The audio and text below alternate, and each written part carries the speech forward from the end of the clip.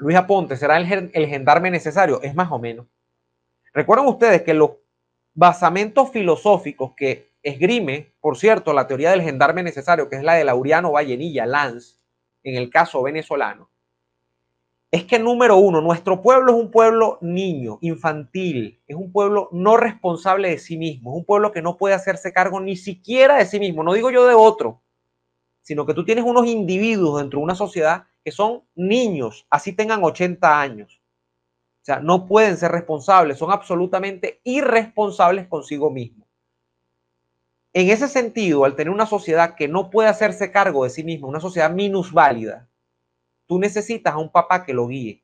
Y en este caso, Gómez fue la, la creación de ese país, que por cierto, la creación de ese país y el creador de ese país, porque él a su vez crea la Venezuela moderna, eh, para llevar de la mano a ese pueblo, o sea, esa visión infantil del pueblo venezolano, el pueblo niño le llaman. Hay algunos autores que lo catalogan como el pueblo niño.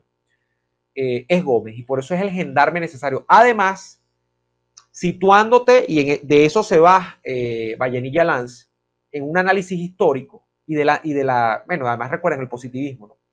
Que es que el medio determina las circunstancias de lo que le pasa a la gente. O sea, es América Latina, es ingobernable, porque aquí la gente es la que es. El clima influye en esto, o sea, la gente, además llevando sol todo el día como una teja, se le alebrestan las sienes, se ponen levantiscos, dan golpes de Estado, montan una montonera, abanderan un caudillo aquí, pero mañana abanderan otro allá y, y pasó mañana otro allá. Y esto es un desnalgue, como decimos también ahora modernamente, ¿no? ¿Qué ocurre?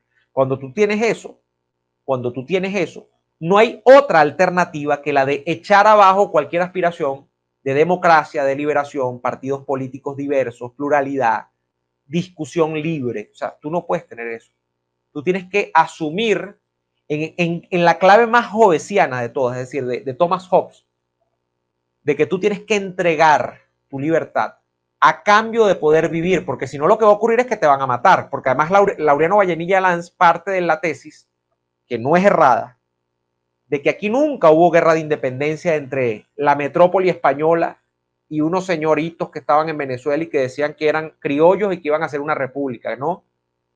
Laureano Vallenilla dice, la guerra de independencia no fue una guerra de España contra Venezuela o viceversa. Fue una guerra de Venezuela contra Venezuela, fue una guerra civil, dice Laureano Vallenilla.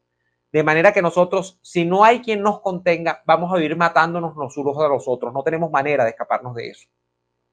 Y allí es donde tú construyes a un César, que es este caudillo, porque es un caudillo realmente, pero que es el caudillo más caudillo de todos, que no puede haber caudillos por debajo de él, porque él es el único caudillo. Es un César, es un César cual, cual César es del, del, imperio romano, ¿no? que estaba por encima de todo, de la ley, de todo, o sea, era el César. Entonces, es un poco ese, el libro de hecho se llama, creo que el libro se llama así, yo lo tenía por ahí, el libro es Cesarismo Democrático. El libro es, es democrático, bueno, ustedes me dirán, pero bueno, es Cesarismo Democrático, se llama el libro.